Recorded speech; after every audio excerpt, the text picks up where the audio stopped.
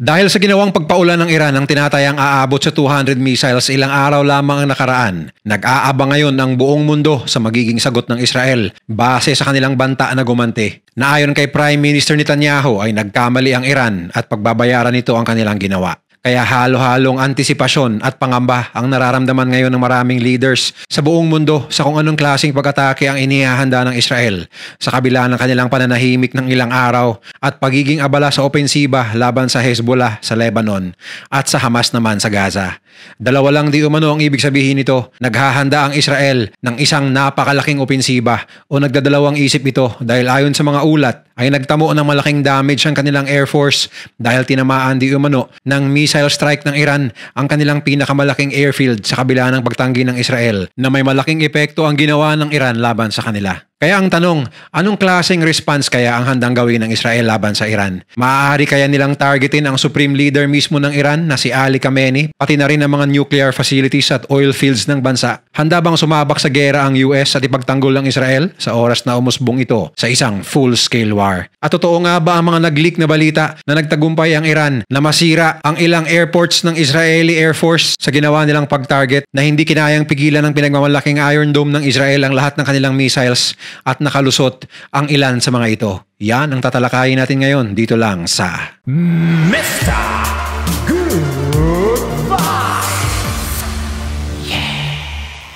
Ito na yata ang pinakamalaking posibilidad sa loob ng ilang dekada na matutuluyan na ang pag-usbong ng isang full-scale war sa pagitan ng Iran at Israel ayon sa mga eksperto sa Middle East crisis dahil sa mga kaganapan nito mga nakaraang araw. Makailang beses na rin nagpalitan ng banta at maliliit na opensiba ang dalawang bansa. Ganon din ang ilang beses ng pag-target ng Israel sa ilang matataas at prominenteng leader ng Iran na kinalaunan ay humupa lamang ang tensyon. Ngunit sa pagkakataong ito ayon sa mga eksperto ay tila mas malaki ang posibilidad na matutuloy na ang malakihang banggaan ng dalawang bansa. Simula noong naging Islamic Republic ang Iran sa pagkatalsik ng kanilang Shah o monarch noong 1979, naging advokasya na ng bagong rehimen na pulbusin ang tinatawag nilang Zionist State ng Israel at burahin sa mapa. Sa kabilang banda naman ay inaakusahan ng Israel ang IRGC o Iran's Revolutionary Guards Corps sa pagkalat ng kaguluhan sa buong Middle East. At ito naman ay sinangayunan ng ibang Arab countries na kontra sa Iran tulad ng Saudi, UAE, Bahrain at Jordan. At simula noon ay hindi na tumigil sa palitan ng pananarget ang dalawa hanggat sa naisipan ng Iran ang pagbuo ng iba't ibang proxy groups na kanilang pinondohan at inarmahan upang maghasik ng lagim laban sa Israel. At ilan sa mga grupong ito ay ang Hezbollah, Houthis at Hamas. Kaya ganoon na lamang ang galit ng Iran nang mapatay ang leader ng Hezbollah na si Hassan Nasrallah na malapit kay Supreme Leader Ali Khamenei sa puntong naghiganti ito sa pamamagitan ng pagpaulan ng aabot sa dalawang daang missile sa loob ng Israel nitong isang araw lamang. Bagamat sinabi ng Israel na walang epekto ang mga naturang missiles, may mga nag-leak na satellite images na nagkaroon ng malaking damage ang Nevatim Airbase sa southern Israel na ayon sa mga ekspertong nag-analyze sa litrato base sa mga craters at sirang bubong ng Air Force Base ay aabot sa 30 missiles ang tumama sa naturang paliparan. Matapos lumabas sa mga litrato ay nagpalabas ng follow-up statement ang pamunuan ng IDF na di umano ay may iba talagang missiles na nakalusot at tumama sa Air Force Base. Subalit minor lamang ang damage nito at walang eroplano na nasira at walang sundalo na namatay. Isang pahayag na pinagdududahan ngayon ng mga kritiko ng Israel na isang cover-up lamang. Matatanda ang sinabi ng Iran na 90% ng kanilang missiles ay nakalusot at hindi naharang ng Iron Dome. Ngunit ito naman daw ay malinaw na hindi totoo dahil marami na sanang sibilyan ang pumanaw sa loob ng Tel Aviv at Jerusalem kung ito ay may katotohanan. Ayon naman sa mga eksperto na malamang kaya tinamaan ng airport ng Israeli Air Force ay dahil mas inuna ng Iron Dome ang protektahan ng syudad ng Jerusalem at Tel Aviv dahil sa panganib ng buhay ng mga sibilyan kaya't nakalusot ang ibang missiles sa naturang Air Force Base. Di tulad ng mga pinaulang missiles at rockets noon mula sa Hezbollah at Hamas na halos na intercept lahat ng Iron Dome air defense system ng Israel. Mga high-flying at high-speed ang missiles na pinakawalan ng Iran kaya't na-overwhelm di umano o nahirapan ang Iron Dome na ma-intercept lahat ng paparating na pabasabog. Kaya naman matindi ngayon ang antisipasyon ng buong mundo kung ano talagang klaseng opensiba ang gagawin ng Israel sa mga susunod na araw laban sa Iran.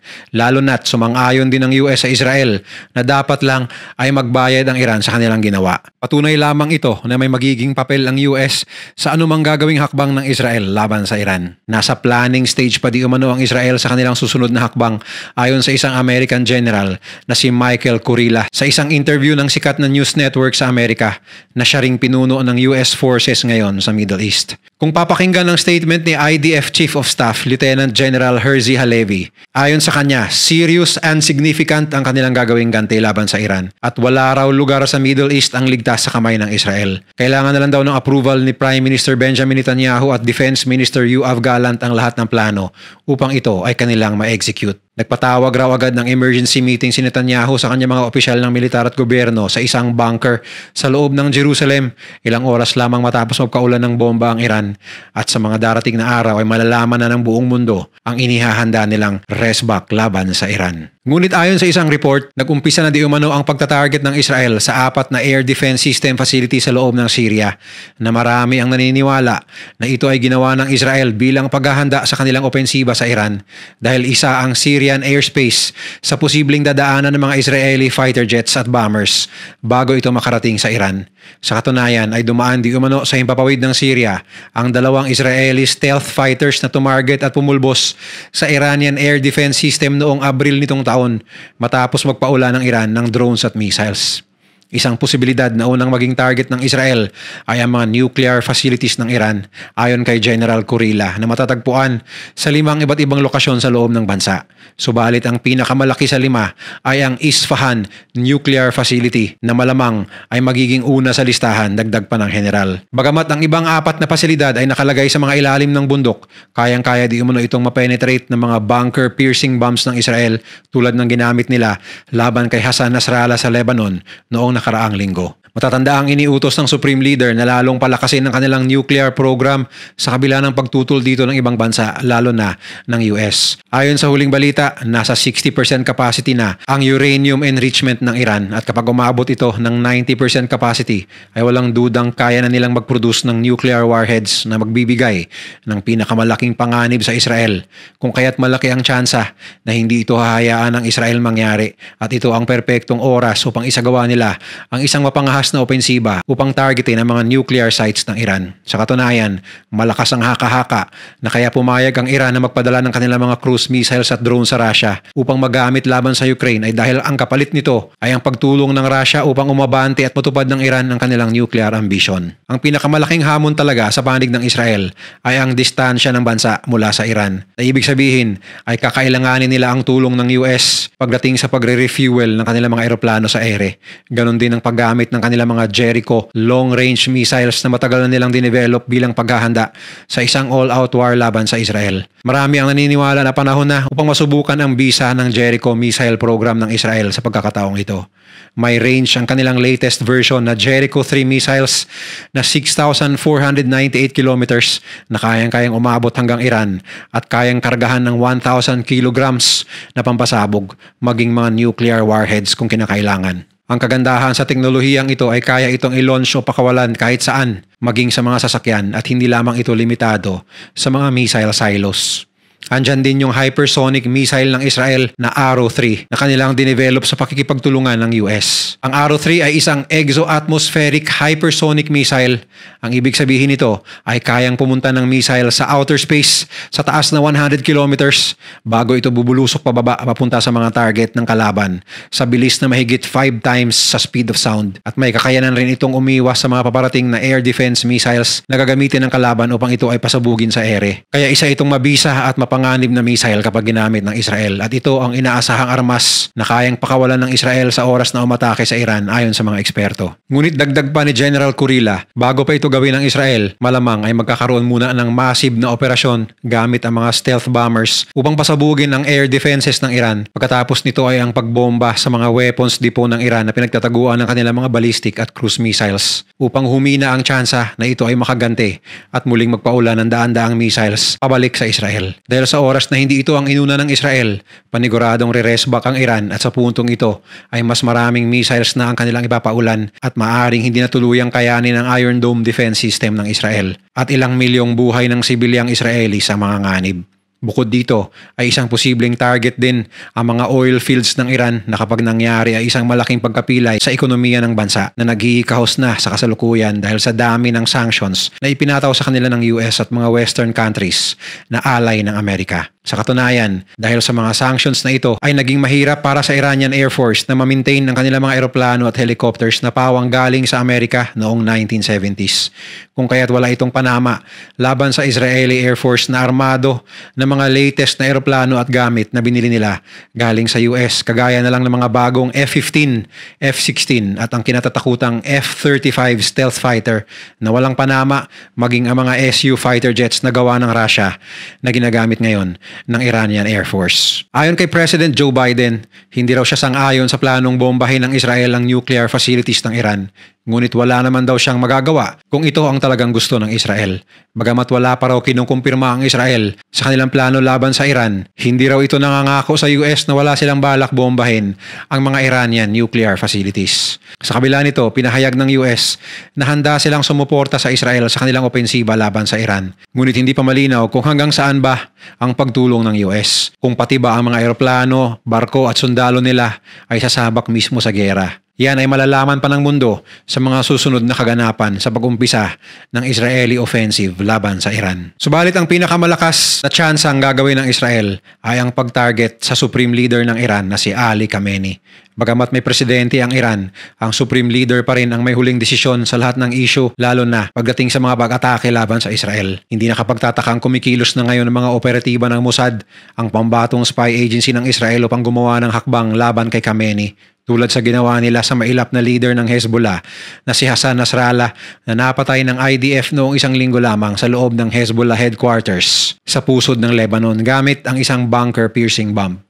Sa oras na nakumpirma di umano ng Mossad ang lokasyon nito sa isang bunker na nasa ilalim ng anim na gusali na ginagamit ng Hezbollah bilang headquarters, ay walang sinayang na oras ang Israeli Air Force at nagpadala ng kanilang eroplano upang targetin ang Secretary General ng Hezbollah. Hindi umano napuruhan si Nasrallah sa bomba, bagkus ay namatay ito sa nakakalasong usok na dala ng pagsabog ng bomba sa loob ng kanyang bunker dahil hindi na ito makalabas pa sa dami ng debris na nasa itaas mula sa mga napulbos na gusali. Kaya triple di umano ngayon ang seguridad ni Khamenei at palipat-lipat ito sa iba't ibang secure na lokasyon sa loob ng Iran bawat araw ayon sa mga ulat dahil sa takot na siya ay mapuruhan ng Israel anumang oras.